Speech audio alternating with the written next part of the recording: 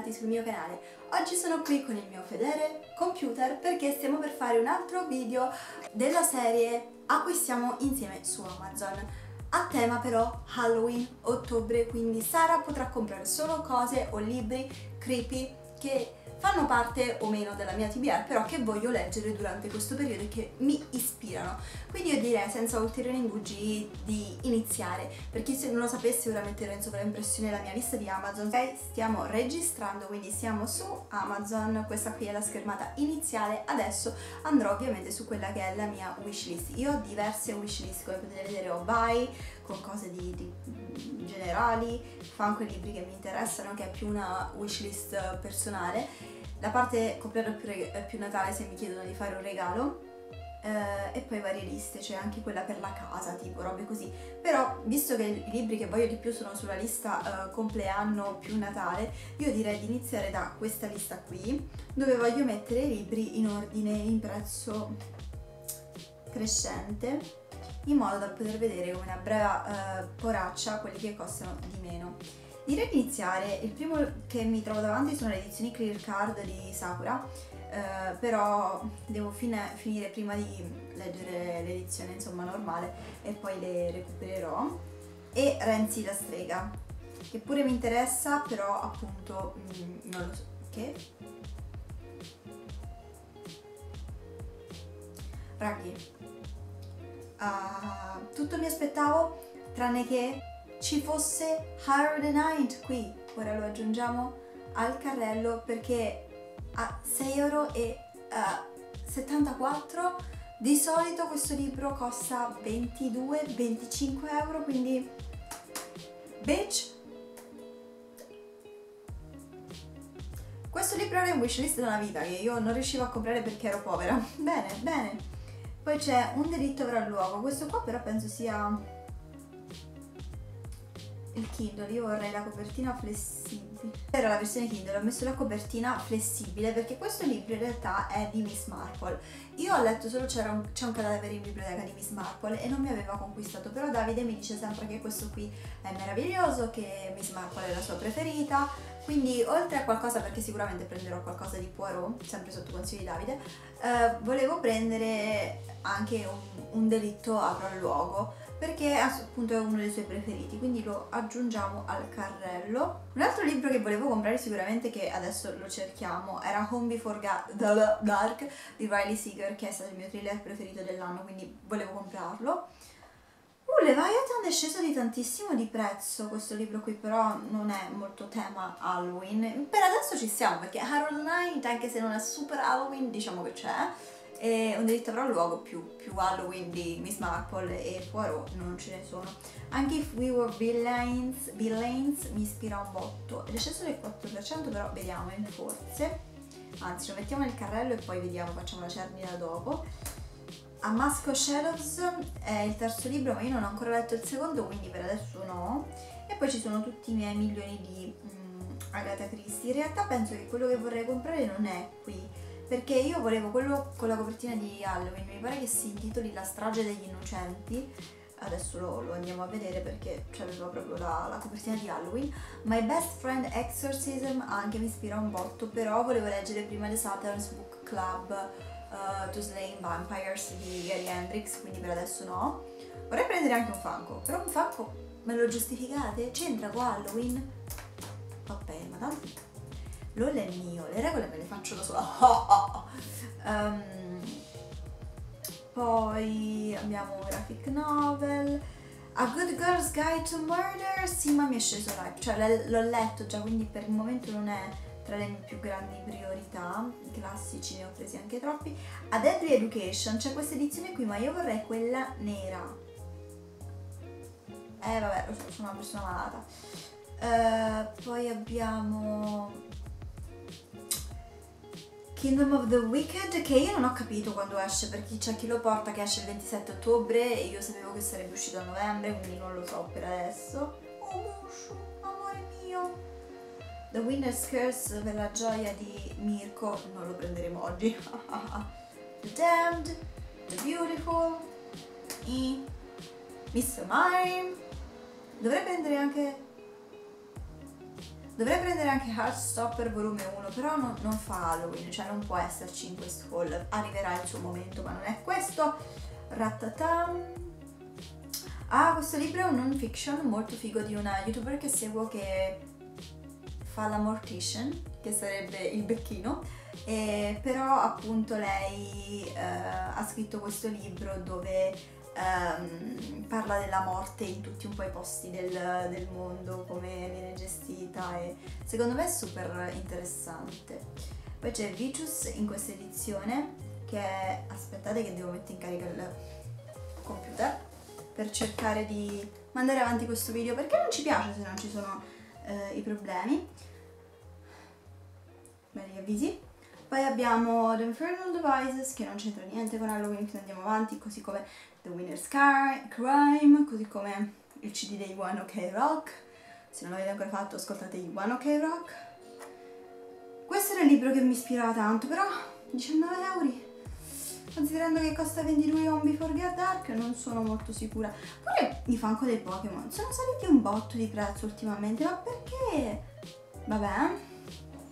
The Last Time Alive, ci sta, però non l'ho ancora letto, quindi preferisco Home Before Dark, tutti i Pokémon che costano un rene per capoccia. Uh, Lock Every Door, ecco qui Home Before Dark e lo compriamo perché questo lo volevo tantissimo. In realtà tutti i libri di Joel Dicker anche li vorrei tantissimo, però al momento volevo di più questo qui, ma morirei per The House in Just Orleans, sì, questo qua mi ispira da morire però i soldi che non ci sono, così come anche le Witchling Girl, però questo qua esce l'anno prossimo. E sì, gli altri 23 euro è di la Rue, ma siamo pazzi? Vabbè. The Sundown Motel, vedi, eh, tutti i libri che mi piacciono un sacco costano l'ira di Dio. Io non so per quale motivo, quindi non li compro. Ovviamente, avrei comprato volentieri il cofanetto di Nevernight, però già, meglio di no almeno al momento, in realtà non l'ho comprato perché non è disponibile, solo per questo motivo. Quindi per adesso ci siamo visti questo e non c'era il libro di caratteristiche che dicevo di volere, quindi adesso lo troviamo. La strage degli innocenti Poirot, eccolo qua, penso sia quello con la copertina di Halloween. Sì, eccolo qui. Potete vedere, aspetta, volevo fare vedere la copertina, perché non me la dà? Eccolo, che ha la zucca, insomma, che ci sta come cosa di Halloween, quindi prendiamo questo quindi al momento siamo a un, to- siamo a un totale di 61 euro. Però qui mm, volevo spendere meno. Io rimuoverei If We Were will, Villain e Yes direi che con il resto ci siamo. E su Amazon io non so perché mi dà questo potrebbe essere un doppione vabbè. Um, ci diamo questi qui Poirot e la strage degli innocenti che dovrebbe essere un libro appunto su Poirot ambientato a Halloween presumo Uh, Home Before Dark di Riley Seeger, 5 stelline lo avevo adorato. Un delitto avrà luogo, Miss Marple, non ne so niente. E Harrow the Night che costa 6,74€ e non mi sarebbe capitato mai più. Quindi andiamo avanti con questo qui. Ora faccio procedi all'ordine tutto quanto. Ok ragazzi, questi sono stati i miei acquisti insieme. Questo è stato il mio processo mentale. Uh, questa volta sono andata abbastanza sul sicuro perché sapevo che volevo prendere dei thriller e dei mystery, quindi me la sono giocata molto easy peasy. E poi c'è stata la botta di sedere enorme di trovare Harrow the Night a un prezzo così basso. Adesso aspettiamo che queste cose ci arrivino. Aspetta, prima fatemi chiudere la registrazione se no non si salva nulla e aspettiamo che questi libri arrivino e noi ci rivediamo per la parte unboxing.